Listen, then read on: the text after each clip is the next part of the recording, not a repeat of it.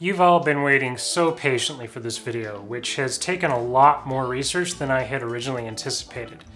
And you'll see why later in the video. Anyhow, if you want to see how we got to this point, just check the playlist in the card up top. But what really inspired me to do this project in the first place was the whole PC versus console debate, but that's not what this video is about.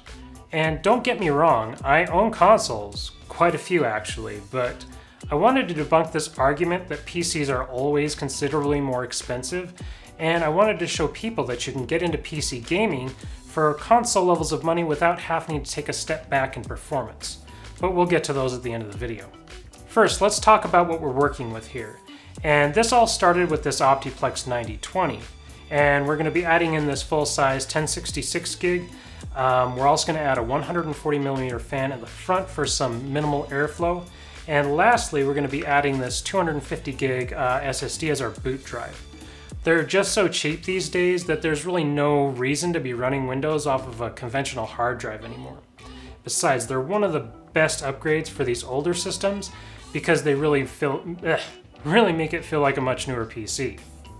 Now, before we start, I want to give you a quick disclaimer here. And this isn't going to be a PC building tutorial, but if you want to see me do one of those, just let me know down in the comments and we can do the polar opposite of that Verge abomination. Anyways, we've got all the parts here and ready to go. Uh, I just want to start out by cleaning them up before we put everything back in the case.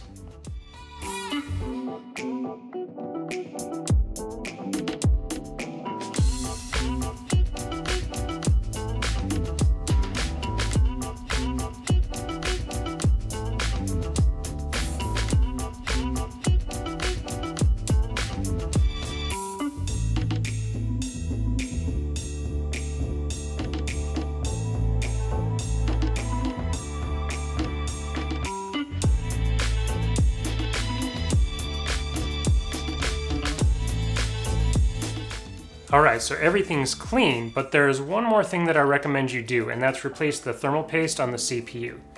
I guess it's possible that it could still be fine, but probably not.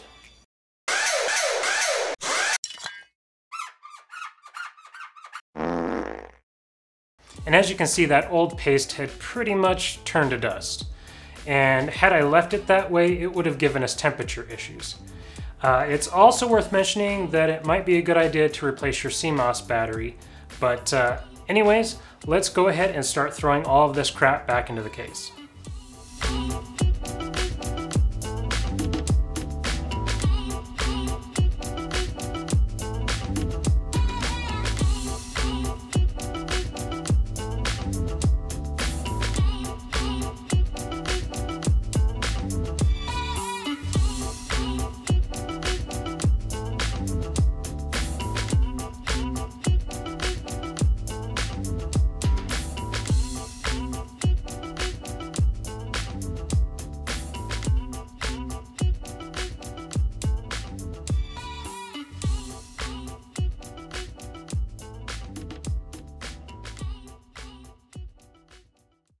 Alright, so now we're to the point where we need to deal with all of our changes.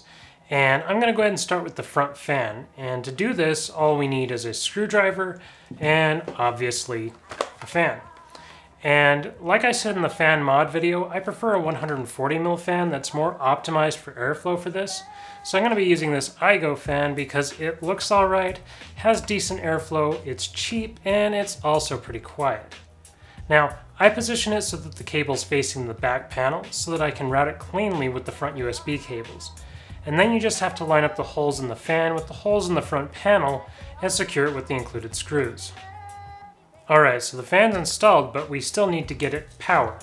Um, and the easiest way would be to get something like this uh, serial ATA power splitter, as well as a serial ATA to 4-pin adapter.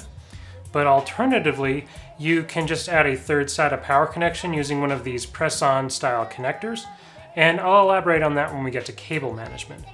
Also, if you have a higher RPM fan, you can use something like one of these resistor cables, which reduces the voltage to the fan, but I won't be using one of these since the fan that we're using is already pretty quiet.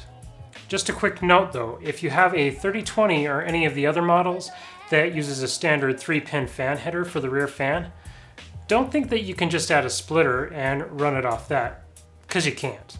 It just doesn't supply enough voltage. Don't ask me how I know. Just kidding, I know because I tried it. Doesn't work. Now I'm going to take care of our hard drive here. And I've seen people use the tabs that I removed in the fan mod video, and while that's perfectly fine, I just didn't like how that looked. So I installed this in the bay right below the optical drive, and we have a couple of options. There are brackets like these ones that you can use to adapt a three and a half inch drive to a five and a quarter inch bay using the spare screws that should be in the front panel. But if you don't want to buy these brackets, or for some reason you're missing those screws, you can just use some screws with a flat head, not to be confused with one of those stupid flathead mm. screws. Anyways, you'll still be able to install the latch and you can just screw it on on one side and that'll hold the drive securely. You could use some regular screws, but you'd have to cut out a notch in the back of the latch uh, to accommodate for the height of the screw. Speaking of which, we can go ahead and reinstall our latch, which will take a little force if you're using those flat screws. However, these aren't your only options, and there are a number of five and a quarter bay solutions that could be more useful depending on what you're doing. Since we're installing this SSD, we need to figure out where we're going to mount it because my drives. And this is just one option, but I like to mount it to the back panel right next to the fan using some of these 3M command poster strips. Um, they'll hold it securely, but can be removed easily in case you have to pull the drive out. Um, I also like to leave about an inch on the left side for cable management. Speaking of which, I'm going to be putting down two of these zip tie mounts and uh, run two of these uh, medium zip ties so we can bundle up the cables nice and cleanly uh, once we uh, get to cable management. Speaking of which, now we can deal with our cable management. But mounting our SSD like this presents us a problem. And that's that the uh, power connector on this cable is now facing the wrong way. Uh, the simplest solution would be to just get a SATA power extender with a straight connector, but I find that it's easy enough to just flip the existing connector over on this cable. Um, you can do that by prying off the end cap and pushing out the wires, then flipping the connector over to the other side. It's pretty easy to do and you just need to make sure that the wires are staying on the same terminal. Just take a look at the connector and you can see this locating notch at the end. The wire at the locating notch is the 3.3 volt lead, while the middle wire is the 5 volt and the wire on the opposite end is the 12 volt. The two black wires in between those are both grounds. Now, you can always do these one by one if that's easier for you, but once you line each one up, just push the wires back into the terminals using something like a flathead screwdriver and uh, put the end cap back on. Now keep in mind that the colors of these wires will vary from system to system, but the order of the wires is always the same. If you decided to opt for adding an additional push-on SATA power connector to power the front fan, you just need to follow the same method. Uh, if you need to, just use the existing connectors as a guide, lining up the correct cable starting at the locating notch. With that out of the way, we can now connect up all the drives and the fan. Now we can run our data cables for the drives, and you're going to need an extra one that's about 16 inches in length for the relocated hard drive. Uh, now remember to plug the SSD into the blue SATA port and the hard drive into the black SATA port. Then you want to run the optical drive off one of the upper, slower uh, SATA connections, which are beige. And now we can go ahead and rerun our front header ports, um, and don't forget that temp sensor. Then I'm just going to zip tie that to the USB cables along with the fan cable. And now we can bundle up this main run of wires and secure them with the zip ties. Alright, we're almost there, and the GPU is the last thing that I'm going to install, but before I do that, we need to talk about these uh, PCI Express to serial ATA power adapters. I've gotten quite a few comments about these, like, you know, people saying that you should never use one. And as I showed in that last video, uh, these are perfectly fine so long as you're not asking too much of them by putting them on an overly power-hungry GPU or trying to use them um, to run on a power supply that shouldn't be running said GPU. That's also provided you don't buy one that's entirely garbage. Speaking of which, there will be links for everything that I've been using uh, down in the description. Getting off that tangent, we can finally finish up by plugging in the adapter and installing our GPU.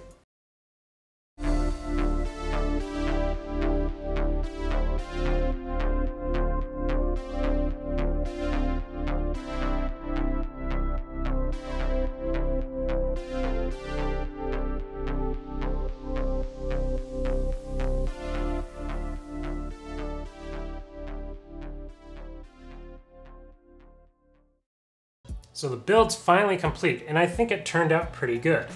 But it doesn't really matter if it's a turd or it costs too much. And I want to start by talking about performance. And this is going to be tricky since we're trying to compare this build to current gen consoles. And a lot of people on the internet like to think that consoles and PCs are easily comparable when it comes to performance, but they're not. And that's because consoles are playing by a different set of rules. Now, I don't want to get too far off into the weeds here, as I could really do an entire video about the technical aspects of consoles, but that's not really the focus of this video. But what I will say is that they are generally rendering at lower resolutions and then upscale to their target of 1080p or 4K. They make use of things like dynamic resolution, anti-aliasing, and running at lower to medium settings, which are also dynamic. So things are constantly changing on the fly.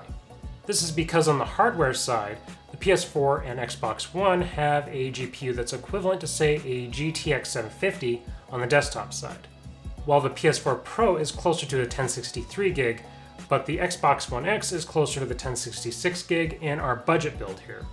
Now, I'm not saying that all of this is a bad thing. I'm just saying that it makes it difficult for me to make an entirely scientific and objective comparison here because this is all about consistent, repeatable results and that's why I don't have the consoles represented in these graphs.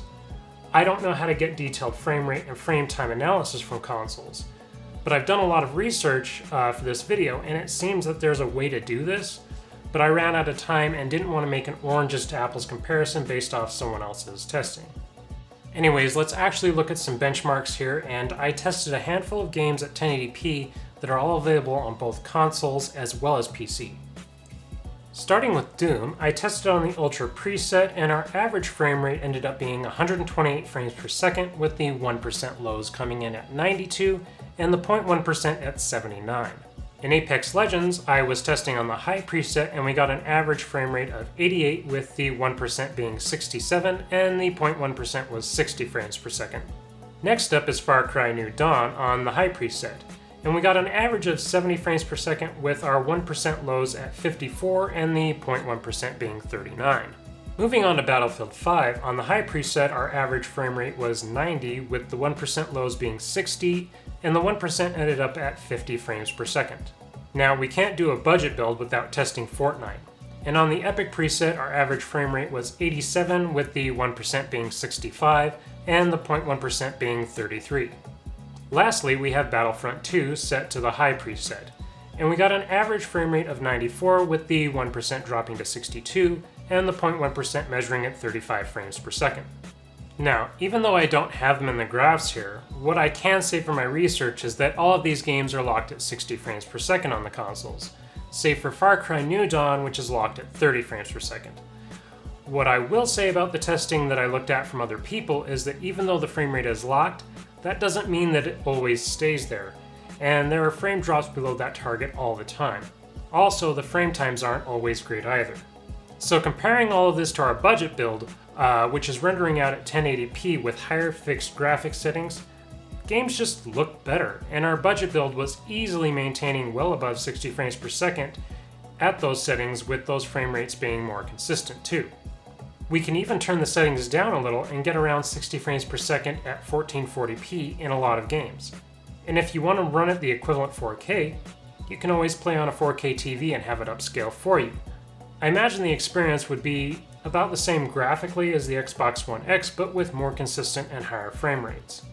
After all, a smoother gameplay experience is really the goal here, especially in fast motion games like first person shooters. And our budget build really just does a better job of that. Now, this is all irrelevant if our budget build here comes in at a higher cost than our consoles. So for our base 9020, I spent $107.32, uh, and that came with an i5 4570, 8 gigs of DDR3 clocked at 1600 megahertz, and it also came with a 500 gig hard drive. Our 1066 gig cost us $133.54, and the SSD cost us $30 even. The fan was $9.50, and all the cables and brackets came to a total of $30.20, giving us a grand total of $293.56. When we look at the sold prices of used consoles, we can see that the PS4 and Xbox One cost about $100 less than our budget build, but it's substantially better than the vanilla versions. The PS4 Pro and Xbox One X are really the competition for this PC, and they cost about the same as our budget build. However, our budget build still wins out performance-wise. Now, it's been brought to my attention that the price of 7020s and 9020s has gone up drastically since I made the buyer's guide video. Naturally, I immediately headed over to eBay to look at listings, and what I found was more and more sellers than usual are asking way too much for these. More so, I found a few instances where people actually paid upwards of $180 for them. I'm, I'm honestly really not sure why, but what I am sure of is that I stand by my advice in that video, which is you should stick to around $120 on these all in.